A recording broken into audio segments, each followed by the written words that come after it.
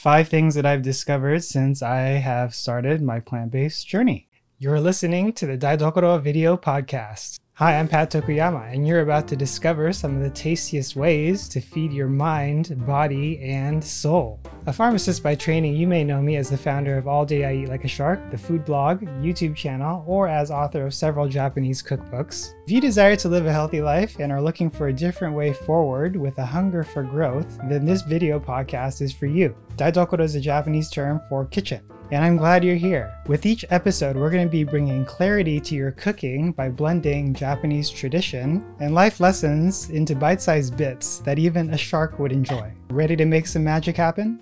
If you're just getting started with your plant based journey, like I was a few years ago, or maybe you've already started on it and you're a few years in, perhaps there's something that you can relate to or even share with this episode. The first thing that I think I was uh, most surprised by after reading my books as well as going through the certificate program through eCornell, I'll link both of those in the uh, resources of this episode, was that there's actually different levels of whole food plant based foods. So, as you may know, the definition of whole food plant based foods is to eat as many whole foods as close to their original state as possible. So, it's not about elimination. It's really about emphasizing those plant foods closest to their natural state as possible. But in addition to that, I know some people have taken things or interpreted them in their own way, which is totally cool. There's also subcategories or sub followings of whole food plant based foods. So that might be something like gluten free, soy free, oil free, nut free,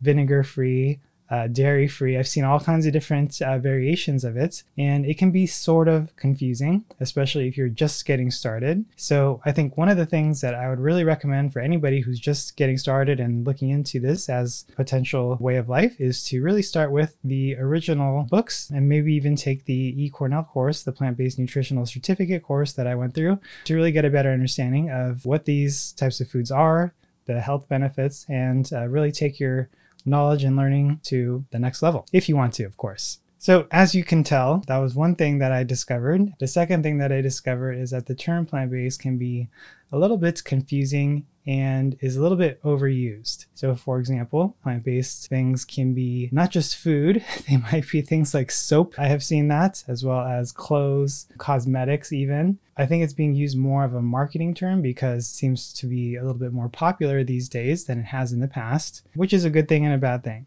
Because of its popularity, because it's being used as a marketing tool, I think it's going to be a little bit confusing, especially if you're just getting started. But as it pertains to food, and the type of Japanese cooking that I try to advocate. Uh, we're talking specifically about whole food plant based foods, also known as WFPB. So that was a little bit surprising to me. I would have thought that most plant based products, whether it's food or other, would really stick to that original definition that we just mentioned in, in the first bit that I discovered, but it's not. The third thing that I discovered is that the food scene is really changing and sort of evolving to accommodate this new way of living. So you might have heard of impossible burgers or or beyond meat. So those are supposed to be foods that are like the real meat but they're made with plants. And they're also supposed to be coming out with like plant-based seafood. While I think that's good and exciting that they're developing these kinds of things, I would really question the benefit of eating these types of plant based foods, especially when they're heavily processed and sort of synthesized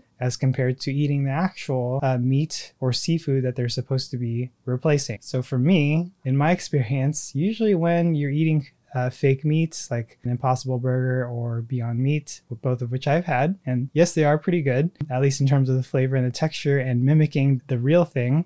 I actually prefer to eat the real thing, even though I don't do it as often as I used to. It's just not as satisfying to eat something that I know is fake. It's sort of like eating like a knockoff, if you will, when you have like a brand name and then you just get like the knockoff, which is like a cheaper sort of copy of the original thing. It's just not as satisfying, and that's totally my choice. I respect your choice and whatever you decide to do with the food that you eat. But for me, I know that those types of foods are not something that really appeals to me and uh, was also sort of surprising. They're getting very creative with it. So I think if it helps people sort of make the change and move towards whole food plant based foods, it could be a good thing, but not necessarily if that's the only thing that they're going to be eating, for example. So that's just me. So I'd be curious what you guys think. If you have any questions about it or comments, uh, make sure to check out the link in the description and leave me a voicemail, and maybe we can feature you on a future podcast episode. So the fifth thing that I discovered was really about the small changes. So you don't need to go on like a 30 or 90 day or six month or a year of plant based foods and eating or a diet like that. What helps is making small steps, small changes, which incrementally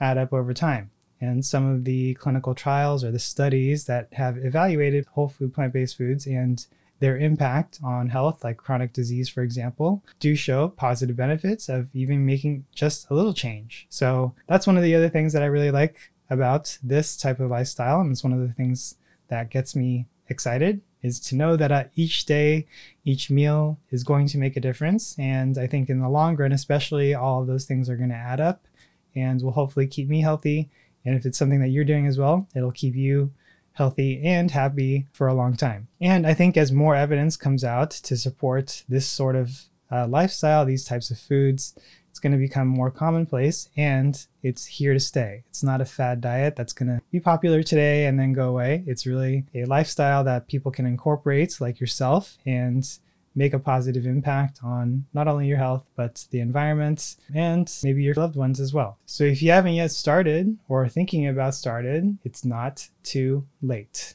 And we might be talking about that in a future episode. So stay tuned. Thanks for joining us today from wherever you're watching or listening from. And if you haven't yet, it'd mean a lot to me if you could share your thoughts in a review on iTunes to let me know what you think of this new video podcast.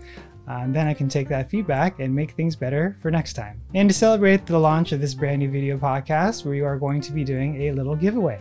All you got to do to enter is subscribe and send us a screenshot of your review. Make sure to check out the link in the description or show notes for all the details. And I'd encourage you to share this with a friend or a loved one because if you've gotten value out of it, chances are they will too. Want to try cooking Japanese food at home from scratch? Head over to alldayieat.com slash aisatsu, A-I-S-A-T-S-U, to get started today. And if you're new here, make sure to check out alldayieat.com slash daidokoro, D-A-I-D-O-K-O-R-O, for all the show notes, bonus materials, resources, and more.